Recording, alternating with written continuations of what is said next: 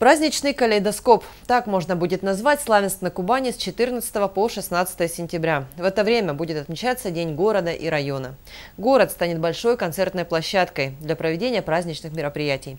Гостей праздника ждут концерты и спортивные развлечения, мастер-классы и флеш-мобы, выставки и увлекательные квесты. Приходите с семьями. Вместе с детьми и друзьями каждому найдется программа по душе. День города Славянска на Кубани и Славянского района – это время для встречи на Красной. Выставку прикладного творчества умельцы Славянского района организуют 14 сентября с 9 часов утра в парке имени Григория Пономаренко. Приходите увидеть авторское искусство, пообщаться и приобрести эксклюзивные сувениры. В это же время на Театральной площади развернется выставка товаров малого и среднего бизнеса. В программе презентации товаров и дегустация. Прямо на площади будет сварен плов, в котором с 9.30 смогут угоститься все желающие. Славянский район в свой день рождения предлагает всем желающим увидеть его, каким он был сто лет назад. В Северном парке города распахнет свои двери этнографическая выставка «Казачий курень».